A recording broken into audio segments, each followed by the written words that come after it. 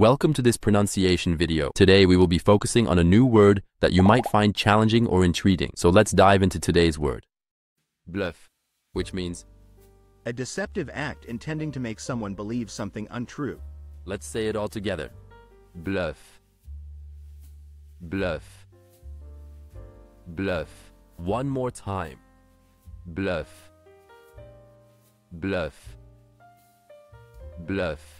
Thank you for joining us on this adventure in pronunciation. Remember, language is a journey, not a destination. Keep exploring, experimenting, and expanding your linguistic horizons. We'll see you next time.